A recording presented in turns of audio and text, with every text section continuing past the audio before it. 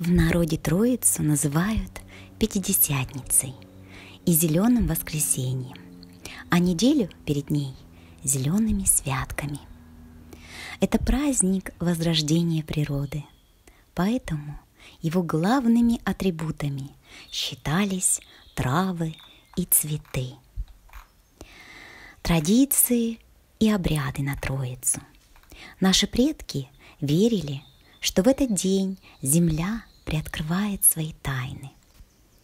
Утром на Троицу собирали растения вместе с росой и шли с ними в церковь. Из трав делали отвары, выпить настой должен был каждый член семьи. Верили, что он поможет от всех болезней. На праздник готовили блюда с цветами и приглашали гостей. Верили, что чем больше будет людей за столом, тем счастливее и богаче станут хозяева. А еще на Троицу парились березовыми вениками – били ими по сорок раз вдоль и поперек тела, чтобы ушло плохое и пришло хорошее.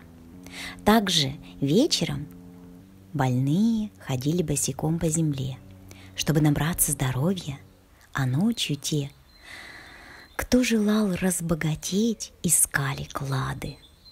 Существует еще один обряд на финансовую удачу. На рассвете – собирали травы и клали их в место, где хранятся деньги. После того, как трава засохла, ее сжигали, а пепел развеивали. Троица – важное время для влюбленных. В этот день проводили смотрины и посылали сватов. Считалось, что брак тогда будет счастливым – семья крепкой, а дети здоровыми. Чтобы найти себе пару, молодые люди срезали ветки с дерева и пускали ствол по реке, чтобы природа помогла сбыться задуманному. Девушки, чтобы выйти замуж, пекли булочки в виде венка, которые назывались козулями или козульками. Несли их в лес разжигали костер и угощали сдобой друг друга. Обязательно съедали по кусочку от разных булок. Чтобы узнать время замужества, плели венки, вешали их на березы, затем уходили. Если спустя время венок пропал, то свадьба будет в этом году.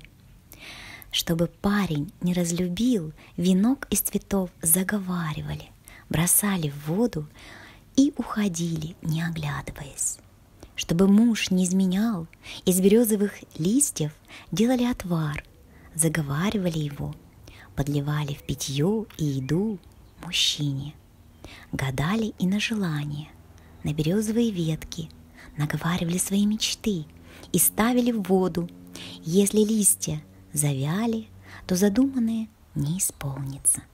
Ветка пустила корни – желание скоро воплотиться в жизнь. Какие же приметы на Троицу? В Троицу нельзя заниматься домашней работой. Запрещено чинить забор. Кто под дождь попадет, тот разбогатеет. Два голубя на крыше дома, скоро свадьба. Ворона каркает, жди плохих новостей – в доме появились щенки, появятся и дети. Кошка принесла мышь, в семье будет достаток. После дождя выглянуло солнце, скоро пойдут грибы и ягоды. Сильный ветер – это значит, будет неурожай моркови. Гроза – не будет зерна. Поскольку у Пасхи нет точной даты, то и День Святой Троицы каждый год отмечается в разное время. В 2021 году православные верующие отмечали Пасху 2 мая. Значит, Троица наступит 20 июня. Праздник Троицы приурочен к событиям, произошедшим на 50-й день Пасхи. Накануне Троицы в церквах совершается всеночное бдение. Сам праздник служится Великая Вечерня, прославляющая сошествие Святого Духа.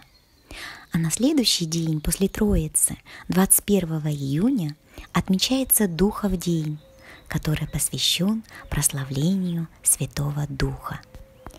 По церковным правилам на Троицу нельзя делать зла, обращаться к языческим обрядам или совершать ритуалы.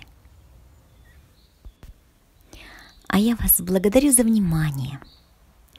Желаю вам счастливой, радостной Троицы. Подписывайтесь на мой канал и всего вам самого-самого доброго.